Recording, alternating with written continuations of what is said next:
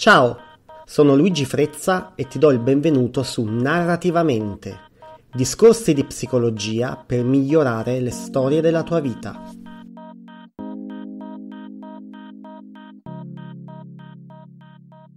Bene, eccoci qua, benvenuto all'episodio numero 13 di Narrativamente, il podcast che ti racconta di psicologia dal punto di vista postmoderno e non strutturalista è passato tanto tempo dalla pubblicazione delle, eh, dell'ultima puntata del podcast, la puntata 12 e la puntata 13 in effetti sono state pubblicate contemporaneamente a inizio luglio 2017. Ci troviamo adesso a fine febbraio 2018, adesso che sto registrando questa puntata siamo al 23 febbraio 2018, per cui sono passati giorno più giorno meno circa 8 mesi Cosa è successo in questo lasso di tempo? È successo che mi sono perso, mi sono perso nella collaborazione con un problema che mh, definirei inadeguatezza nel comunicare, nel gestire il mio brand. Perché ti voglio parlare di questo mio rapporto con questo problema, perché insomma questa puntata sarà incentrata su questo. Ti voglio parlare di questo non tanto perché ho ricevuto richieste di persone che mi eh, chiedevano come mai non stessi più pubblicando podcast. Questo è un podcast relativamente giovane, le puntate non erano tante, e parla di un argomento abbastanza impegnativo come un nuovo modo di fare psicologia, decostruendo un po' quelle che sono delle narrazioni dominanti relative a questa mh, professione quindi non è che avessi una fanbase eh, chissà quanto elevata, quindi diciamo le persone hanno continuato a vivere uguale anche se io non pubblicavo queste puntate, ma te ne voglio parlare più che altro mh, mm, con eh, due mh, mm, intenti, il primo è quello di eh, cercare di riprendere i discorsi che avevo iniziato eh, in questo podcast. E quindi attraverso la mia testimonianza voglio comunque spiegarti dei concetti. Secondo, è perché spero che questa mia testimonianza magari possa esserti d'aiuto nel momento in cui tu sei in relazione con un problema che si comporta in maniera simile a quello in cui, eh, al problema con cui ho avuto a che fare io, che tuttora ho a che fare, anche se adesso riesco a tenerlo un pochettino più a bada. Bene, stacco musicale e poi entriamo nel vivo della nostra puntata. Ok, quindi come stavo dicendo prima, eh, ho collaborato per diverso tempo, anche adesso un poco, anche se sono riuscito a prendermi un po' più di spazio. Ho collaborato divers- per diverso tempo con un problema che definirei inadeguatezza nel gestire il mio brand. Ma di cosa sto parlando? Perché sto parlando in questi termini? Allora, se hai già seguito eh, narrativamente alcune mie puntate, sai che questo modo di parlare rispetto al problema è un modo che ehm, si chiama esternalizzazione del problema. Se non hai mai seguito questo mio podcast, oltre a invitarti ad ascoltare le puntate precedenti in cui puoi avere maggiori chiarimenti rispetto a questa pratica e in generale rispetto all'approccio narrativo, faccio un breve riassunto, quindi faccio un passo indietro. L'approccio narrativo è un approccio di natura postmoderna, non strutturalista, eh, sociocostruzionista in, eh, in psicologia nell'ambito della relazione d'aiuto che ha come obiettivo quello di aiutare le persone a costruire delle storie alternative della loro vita, partendo dal presupposto che ognuno di noi costruisce la propria realtà sulla base delle proprie mappe interpretative. Le mappe interpretative, così come si modificano nel corso del tempo, diventano narrazioni dei nostri eventi, degli eventi che ci hanno visti protagonisti, degli eventi che abbiamo assistito, narrazioni delle nostre esperienze, narrazioni delle nostre relazioni, narrazioni di noi stessi, come ci muoviamo nel, all'interno del mondo. Eh, il discorso è che molto spesso le persone che vengono a chiedere aiuto a me eh, sono persone che eh, dal punto di vista narrativo hanno delle problematiche e quindi hanno una narrazione fortemente intrisa eh, da questo problema, sono concentrati su questo problema. E allora ci sono due modi che abbiamo per poter raccontare delle situazioni problematiche che portano dolore e sofferenza ad una persona. Il primo è il modo classico a cui siamo tutti quanti noi abituati culturalmente da quando eh, siamo nati fondamentalmente, che è eh, l'utilizzo di un linguaggio internalizzato, vuol dire descrivere la situazione problematica rimandando a noi stessi e alle nostre caratteristiche di personalità, cioè sto male, sono malato, sono stupido, sono cretino, sono pazzo, eh, sono un fallito e così via. Eh, la pratica dell'internalizzazione viene molto rafforzata da alcune discipline anche e da ambiti del sapere della nostra, all'interno della nostra società. Considera ad esempio la psicopatologia. No, le diagnosi psicopatologiche si basano su un linguaggio internalizzato. Questa persona è schizofrenica, questa persona è depressa, è ossessivo-compulsiva e via discorrendo. E quindi questo è un modo. Un altro modo è esternalizzare il problema, che è quello che suggerisce eh, la terapia narrativa, cioè immaginare che io sono in relazione con, con, un problema, cioè che il problema fosse come una specie di essere vivente che è presente nella mia vita, agisce nella mia vita con degli obiettivi, con una, una volontà, con mh, mm, delle intenzioni e influenza la mia vita portandomi a vivere, a fare, a pensare, a sentire determinate cose che sono mm, poco utili per me.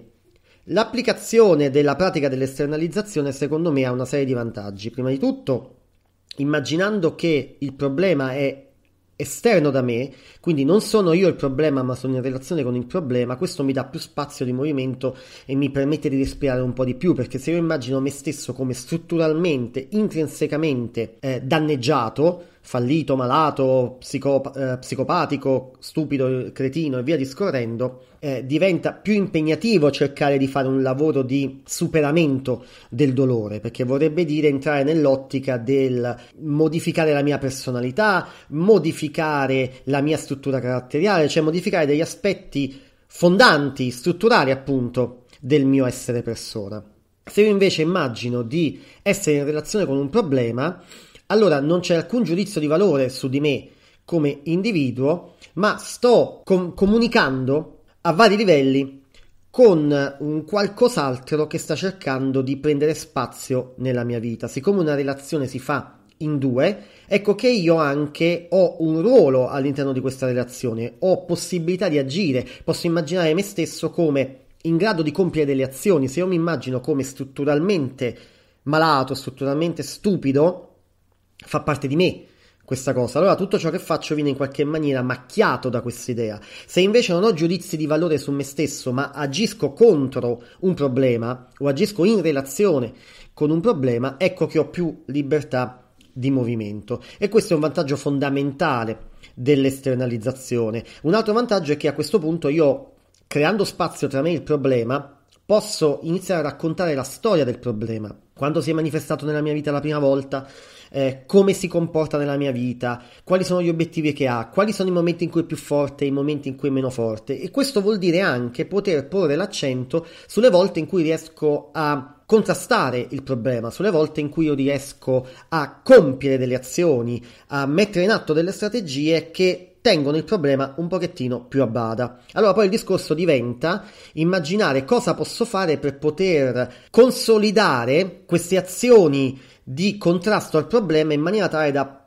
lasciargli sempre meno spazio e acquisire io più spazio per me, per la mia vita e questo spazio è rappresentato dai miei valori, da ciò che voglio fare, dai miei obiettivi, dalle mie esperienze, da, dalle mie speranze, dalle visioni che ho di me stesso, dai miei principi, dagli impegni che voglio profondere nella mia vita per poter influenzare in qualche maniera il mondo, lasciare un segno nel mondo. E quindi ampliando sempre più lo spazio di vita, tenendo sempre più a bada il, um, il, il problema, riesco, eh, per utilizzare una metafora molto cara alla terapia narrativa, riesco a eh, recuperare questo senso di authorship, cioè di essere autore della mia vita e quindi di essere alla guida della macchina, dell'auto che è la mia vita. Ecco, quindi ti parlo in questi termini della mia situazione problematica che ha portato alla sospensione per questi otto mesi del, prob- del, del, podcast, te ne parlo in termini esternalizzati perché per me risulta estremamente più, fe- più semplice, mi dà più spazio per poter riflettere e ragionare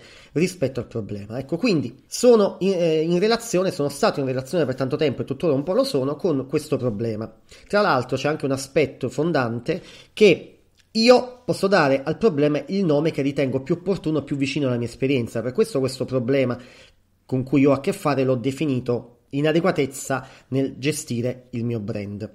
Questo ha anche delle, dei riverberi molto interessanti potrebbe avere nella tua vita, nella vita delle altre persone. Perché immagina un cliente che viene da me che ha ricevuto una diagnosi di qualsiasi tipo eh, dal punto di vista psicopatologico, mm, schizofrenia, disturbo borderline, eh, qualsiasi cosa, eh, si può domandare alla persona, esternalizzando il problema, eh, anziché dire sei schizofrenica, dicendo sei in relazione con un problema che chiamiamo schizofrenia. Però risulta ancora più interessante se domandiamo alla persona, bene, questo problema che ti è stato do- definito da altre persone, da altri contesti, come schizofrenia, tu come lo chiami?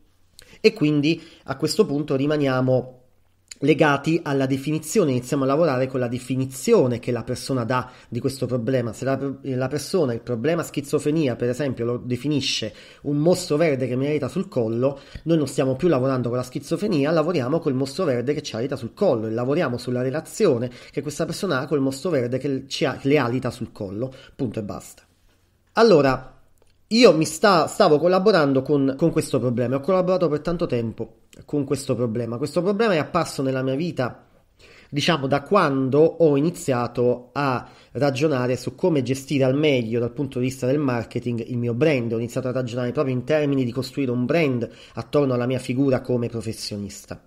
Dopo un'iniziale fase, ti parlo di 7-8 anni fa, in cui avevo creato un sito vetrina e questo sito vetrina, come funzionava all'epoca, mm, riusciva comunque a, mh, mm, ad avere una certa visibilità e quindi mi arrivavano anche clienti eh, attraverso questo sito vetrina, e fosse stato uno dei primi a Salerno ad avere questo sito vetrina, come è cambiata poi la situazione del marketing, del web 2.0 con l'arrivo dei social e tutto il resto, più che con l'arrivo dei social, diciamo con l'imporsi della cultura dei social e tutto il resto, ovviamente il sito vetrina non funziona più e, si inizia a ragionare in termini di creazione di contenuti, tra cui questo stesso podcast anche può essere, stato, può essere immaginato come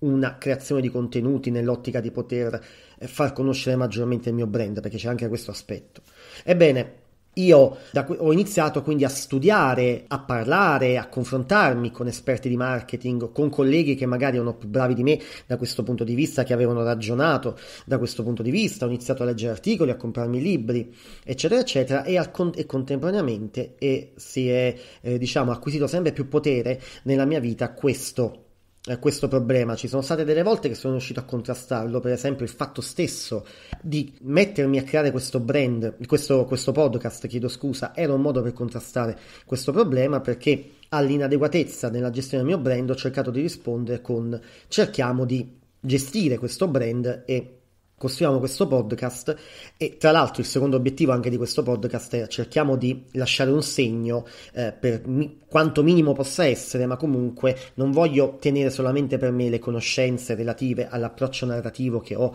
ehm, acquisito eh, studiando per conto mio, leggendo articoli e libri in inglese e andando anche all'estero e creando rete con professionisti europei e oltreoceano rispetto a questa metodica che è molto diffusa nel resto del mondo, in Italia sono pochissimi che mh, la praticano e la conoscono, forse al sud Italia sono l'unico e qualche altro mio allievo.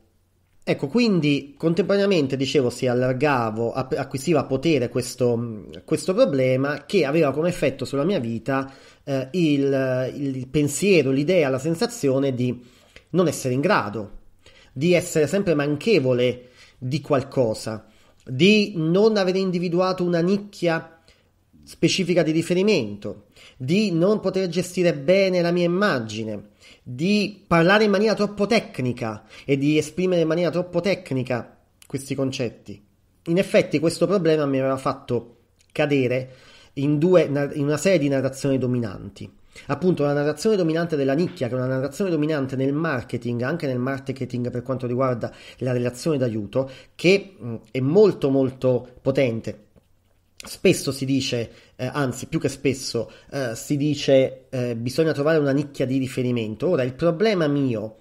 nell'ambito eh, della, eh, dell'approccio narrativo è che l'approccio narrativo può essere applicabile a tante problematiche è un punto di vista che decostruisce questa idea molto modernista, figlia della rivoluzione industriale, della visione dell'uomo come macchina, che a uno specifico problema esista una specifica metodica.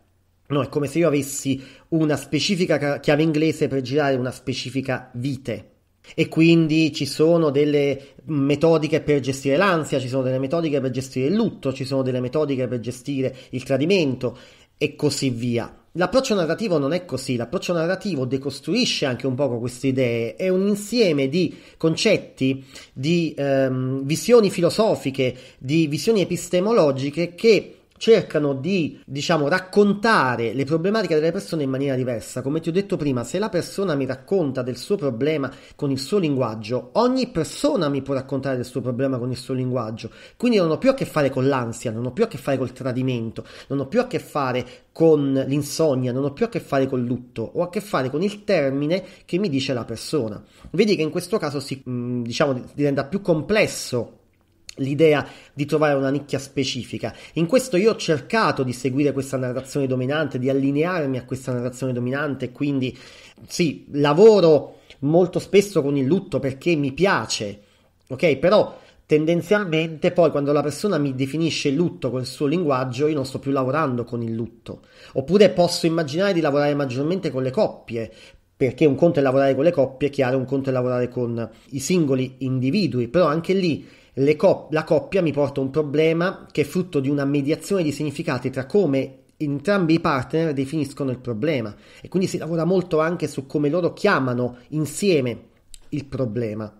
Mentre invece ci sono, eh, diciamo, degli orientamenti psicologici tradizionali, dominanti, no? quelli più diffusi, mainstream possiamo chiamarli, eh, che eh, definiscono chiaramente cos'è la problematica dell'ansia rispetto alla problematica, problematica, della depressione, rispetto alla problematica dell'insonnia e così via, no? Si fa quella che tendenzialmente viene definita una diagnosi differenziale. Ecco, io nel, in questo campo non mi trovo a mio agio. Con l'approccio narrativo provato, mi sono allontanato da questa visione, ho provato a decostruire, a vederla in maniera critica, per cui il primo problema che mi si poneva davanti appunto era l'individuazione della nicchia. Vedevo che il mio modo di ragionare rispetto al mio brand non era allineato con quest'idea dell'individuazione della nicchia, non quantomeno con questa idea così tanto specifica che mi sembrava venisse da questi discorsi rela- di marketing relativi alla nicchia.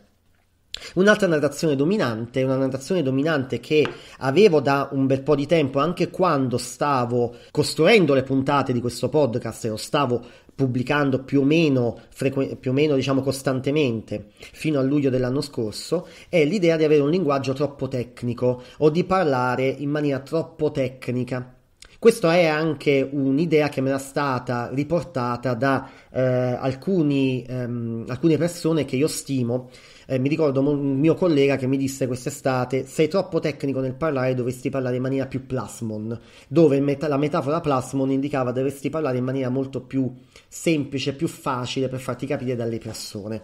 E quindi io mi sono anche perso all'interno di questa narrazione perché è eh, il modo in cui io parlavo e in, in cui io parlo dell'approccio narrativo utilizzando dei concetti presi dal, diciamo, dalla letteratura di riferimento nell'ambito narrativo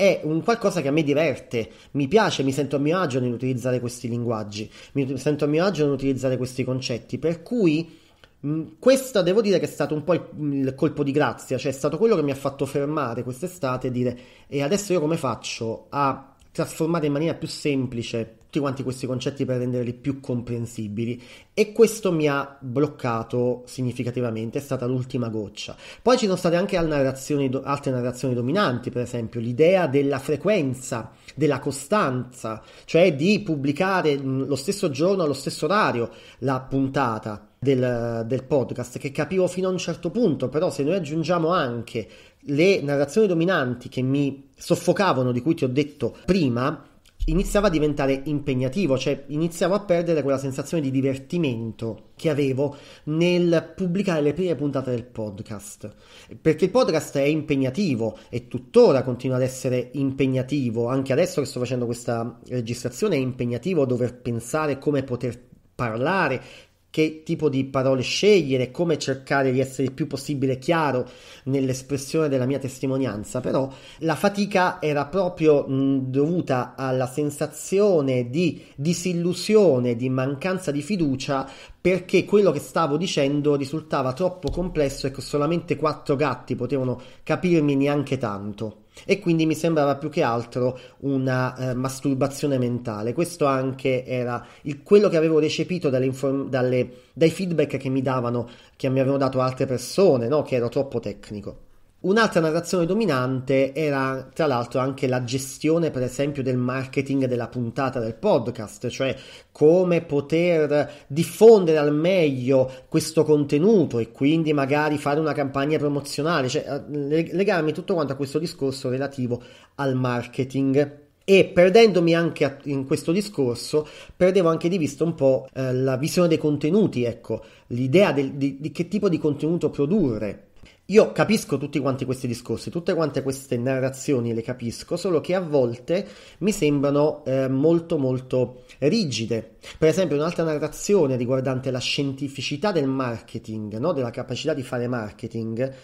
è un, diciamo, un altro aspetto che mi metteva abbastanza a disagio perché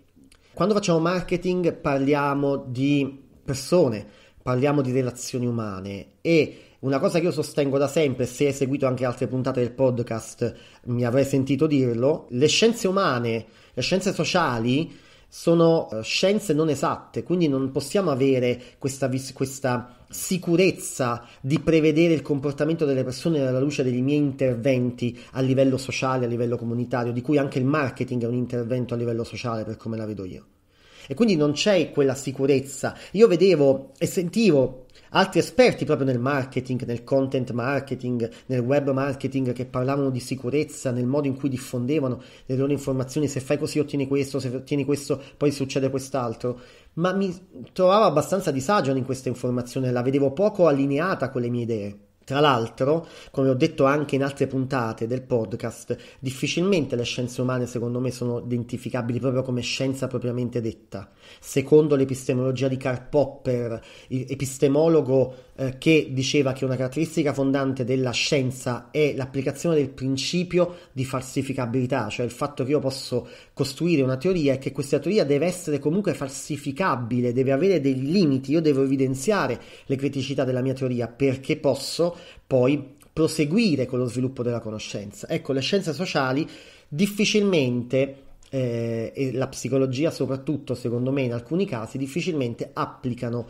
questo principio di falsificabilità, si basano su, su, principi di non falsificabilità, cioè diciamo la mancanza di efficacia dell'approccio. È dovuta non tanto alle criticità intrinseche all'approccio alla teoria, ma è dovuta al fatto che per esempio il cliente, eh, l'utente, il pubblico poco coglie queste informazioni. Quindi il problema sono le resistenze del pubblico, sono le resistenze del cliente, le resistenze del paziente e non i limiti dell'approccio e i limiti di come il professionista applica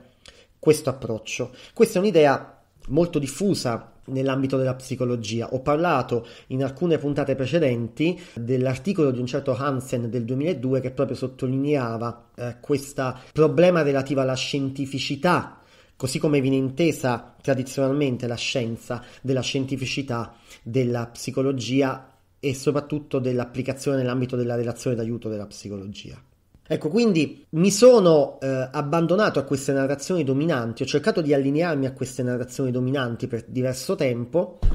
e ho cercato di allineare anche la produzione del podcast e i contenuti del podcast a queste narrazioni dominanti per diverso tempo e più facevo questo, più diciamo acquisiva potere eh, l'inadeguatezza nella gestione del mio brand, che mi portava una conseguenza fondamentale, la sensazione di fallimento a livello professionale, la sensazione di lasciare tutto in sospeso.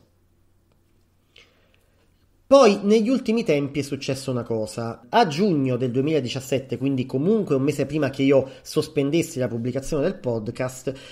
sono andato a fare un corso avanzato di mh, terapia narrativa a Londra e abbiamo approfondito un tema che era stato lampeggiato nei corsi precedenti, che era il tema del fallimento, come eh, la terapia narrativa lavora con persone che portano una narrazione relativa alla sensazione di fallimento, di non essere riuscito a fare delle cose nella propria vita. E un modo interessante eh, in cui Michael White, uno dei due fondatori della terapia narrativa, che è venuto a mancare nel 2008, quindi sono ormai dieci anni che eh, non è più presente tra di noi e ha lasciato però una serie di idee su cui poter ragionare. Ecco, Michael White suggeriva che era possibile immaginare il fallimento anche in maniera diversa da quella in cui viene tendenzialmente immaginato. Nella nostra cultura occidentale il fallimento è un vissuto che riguarda l'incapacità dell'individuo di essere produttivo e che riguarda le sue caratteristiche anche personali. Le persone fallite sono persone che non funzionano, che non vanno bene, che non riescono a raggiungere niente, non sono persone di successo e il concetto di successo è fondamentale nella nostra cultura. Invece eh, Michael White suggeriva che Oltre a questo c'è un altro modo per poter raccontare il fallimento. Il fallimento può essere raccontato come una sorta di eh, reazione e resistenza della persona nei confronti dei giudizi normalizzanti. Quindi si collega il concetto di fallimento al concetto di giudizio normalizzante. Il giudizio normaliz- normalizzante è quel giudizio sociale, che poi diventa un giudizio anche personale, eh, su come dobbiamo comportarci in determinati contesti, su come dobbiamo allinearci a delle regole sociali o come possiamo allontanarci, in che misura possiamo allontanarci rispetto a delle regole sociali. Quindi il fallimento può essere vista anche come l'incapacità, l'impossibilità da parte di una persona o la decisione libera da parte di una persona di non essere allineata a delle regole sociali predefinite, delle regole implicite, a delle norme su come ci si deve comportare. Questa è un'idea che avevo lasciato, diciamo, sospesa per un po' di tempo e che non avevo eh, mai applicato, diciamo, nel mio lavoro clinico. Non avevo mai applicato, avevo utilizzato altri modi di praticare la terapia narrativa per poter aiutare le persone che mi portavano queste problematiche. Poi ho deciso con il collega Antonio Motulli, il collega che, col quale io collaboro ormai da diversi anni e stiamo, col quale stiamo provando a diffondere una cultura della psicologia postmoderna e non strutturalista in Italia, abbiamo deciso di organizzare un livello avanzato del corso online che organizziamo già da diverso tempo eh, sugli approcci non strutturalisti in terapia e in psicologia, così l'abbiamo chiamato. Quindi abbiamo deciso di organizzare questo livello avanzato ed è stata questa l'occasione per poter proporre una serie di lezioni di livello avanzato, tra virgolette, di terapia narrativa e quindi di parlare anche del tema del, del, fallimento. Nel preparare queste lezioni, quindi ho dovuto riprendere in mano questo concetto e ho iniziato a ragionare sul fatto che poteva essere che la mia sensazione di fallimento legata alla collaborazione con l'inadeguatezza nel gestire il mio brand potesse essere anche vista non solamente come una manifestazione della mia incapacità di concludere delle cose e della mia incapacità di potermi gestire bene a livello di marketing, ma poteva essere anche vista come una sorta di reazione a quelli che erano dei giudizi normalizzanti relativi a come bisogna essere bravi nel marketing, a come si gestisce in maniera esatta corretta, efficace, produttiva il marketing. E pensandolo da questo punto di vista, ho iniziato a eh, riflettere a cosa mi stavo ribellando, a quale idee, a quali narrazioni dominanti nell'ambito del marketing mi stessi ribellando e sono appunto quelle di cui ti ho parlato poc'anzi. E ho iniziato quindi a vedere il mio atteggiamento di sospensione del podcast come un, una resistenza a, cui, a, chi mi diceva, eh, ovviamente per come io interpretavo diciamo, queste informazioni, cosa era la cosa migliore da fare per poter eh, ottenere determinati risultati. E vedevo questa frizione tra questi valori e queste idee e i valori e le idee che, portavano, che portano avanti la mia professione, che portano avanti la visione narrativa che ho deciso essere un aspetto fondante non solamente della mia professione, ma della mia vita. Certe cose che venivano dette a livello di marketing, che vengono dette a livello di marketing, mi sembrano molto interessanti.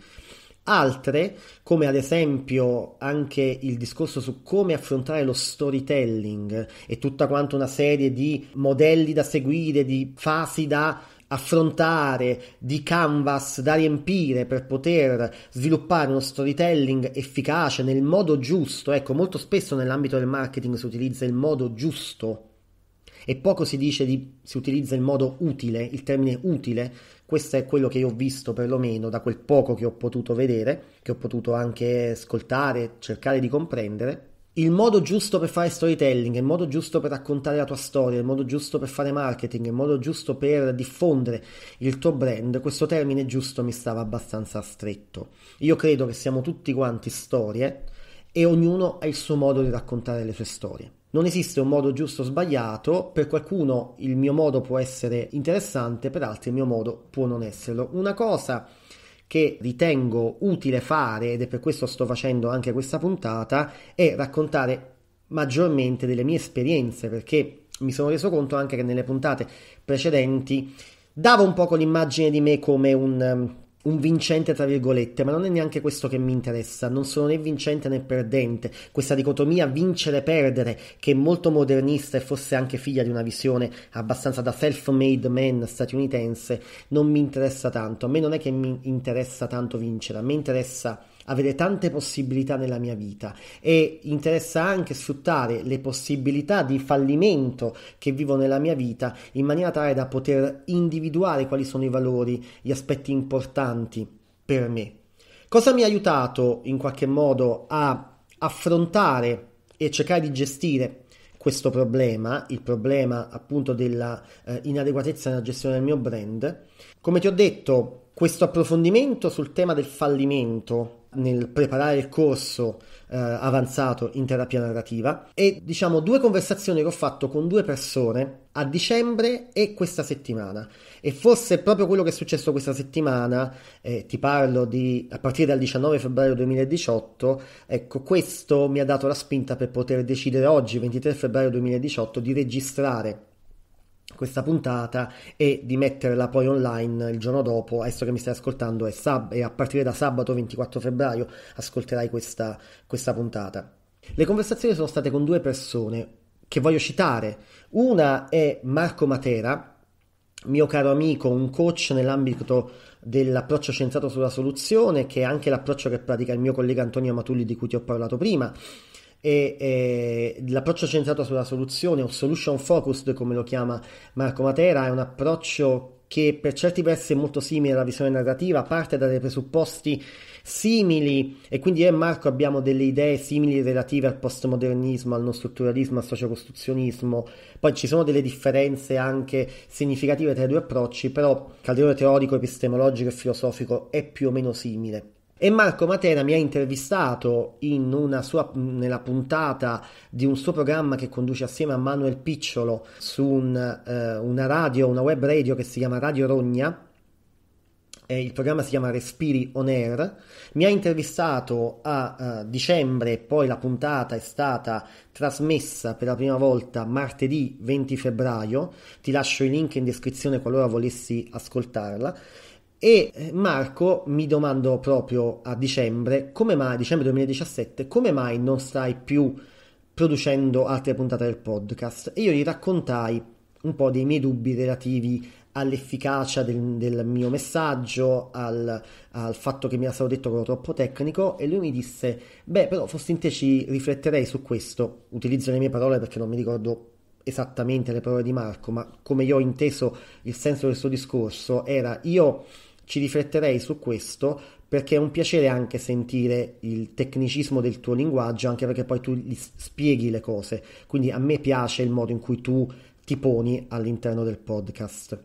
Successivamente io poi ho ascoltato questa puntata, ho ascoltato questa settimana la puntata in cui Marco e Manuel mi hanno intervistato, ho sentito il mio linguaggio, il linguaggio è molto simile a quello che utilizzo nel podcast e ho ricevuto una serie di riconoscimenti da parte di altre persone che mi hanno contattato su Facebook, mi hanno mandato mail, mi hanno contattato su WhatsApp e mi hanno detto che è stato molto interessante quello che ho detto e che hanno compreso quello che dicevo. E eh, lo stesso Marco Matera poi mi ha mandato dei, dei feedback dicendomi ho riascoltato l'intervista è un puntatone, mi, mi, ha detto, mi permetto di ripetere questa frase, è un puntatone, è stato, hai detto delle cose molto interessanti. Successivamente, sempre questa settimana, mi ha contattato Angelo Ricci, che non so se lo conosci, ma è il conduttore di una trasmissione, di un podcast molto importante che è Sognatori Svegli. Ti lascio anche qui il link in descrizione. Angelo Ricci, ha, io non lo conoscevo, siamo diventati amici su Facebook, ma non lo conosco personalmente. Mi ha contattato e mi ha detto che quello che stavo dicendo nella eh,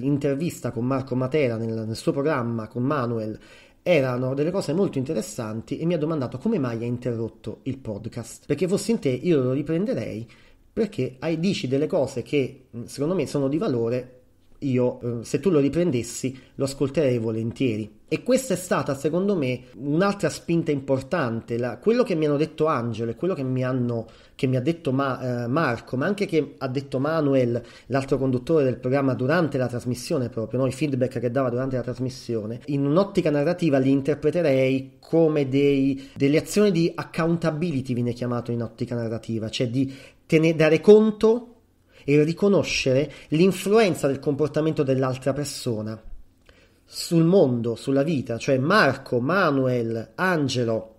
e tutte quante le altre persone che mi hanno dato dei feedback in questi mesi eh, relativi al podcast e relativi anche a questa intervista mi hanno fatto accountability, hanno riconosciuto eh, l'influenza grande o piccola che sia, de, di que- dei miei contenuti, di quello che dico e di quello che faccio nella loro vita, l'influenza positiva, non, qui, non importa quantificare la, la, il livello di positività, però c'è stata seppur un minimo tipo di influenza positiva del mio lavoro sulla loro vita. E questo è un aspetto importante secondo me anche da considerare, cioè il fatto che abbiamo bisogno dell'accountability secondo me, abbiamo bisogno che le nostre azioni vengano riconosciute come importanti e influenti da parte degli altri, perché la nostra identità, come diceva William James, è un continuo fluire frutto di due eh, processi. Il processo del se- dell'io, io soggetto, io che agisco nel mondo, ma anche il processo del me, io complemento oggetto, io come racconto me stesso, io come vengo raccontato dagli altri e io come racconto gli altri che raccontano me stesso. La mia identità è frutto della narrazione che io faccio di me stesso ed è frutto della narrazione che gli altri fanno di me e di come io racconto la narrazione che gli altri fanno di me. Se io mi concentro solamente sulla narrazione che io faccio di me stesso, la mia è una narrazione povera, perché il, i valori, i linguaggi, i concetti, i costrutti delle altre persone invece aggiungono nuovi elementi che mi permettono sempre di raccontare storie nuove poi rispetto a me stesso e mi permettono di seguire questo fluire dell'esperienza che il fluire della mia vita e quindi io devo ringraziare solamente Marco, Manuel, Angelo e tutte quante le altre persone che soprattutto in quest'ultimo periodo mi hanno fatto questi processi di accountability. Bene, direi che siamo arrivati alla fine di questa nostra eh, puntata. Cosa voglio lasciarti? Voglio lasciarti, a seguito di questa mia testimonianza, appunto l'idea che quando raccontiamo noi stessi, raccontiamoci come agenti che riescono a, ad avere influenza sulla nostra vita e sulla vita degli altri. Questo è anche un po' l'obiettivo dell'approccio narrativo ed è anche uno dei motivi per cui ho deciso di abbracciarlo un conto è dire di una persona tu sei fatta in questa maniera, prendi consapevolezza del fatto che sei, che sei fatto così. No, e questo è uno degli obiettivi fondanti della psicologia mainstream, cioè individuare la persona com'è. E queste sono anche molte domande che io ricevo dalle persone, ma secondo te io come sono fatto? Ma secondo me non è tanto importante come sei fatto, è importante soprattutto che azioni compi per poter lasciare un segno nel mondo, per poter influenzare gli altri e per poter influenzare te stesso? Che azioni compi per poter ampliare la sensazione di poter essere autore della tua vita e in quanto autore della tua vita essere anche di esempio, di aiuto e appunto essere di influenza positiva nella vita delle altre persone?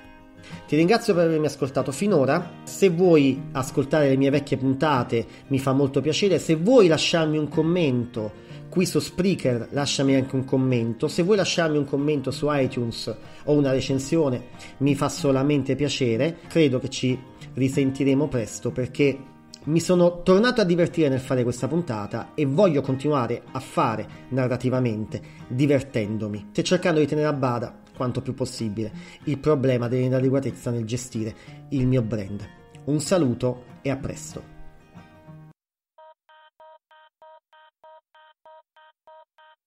Narrativamente,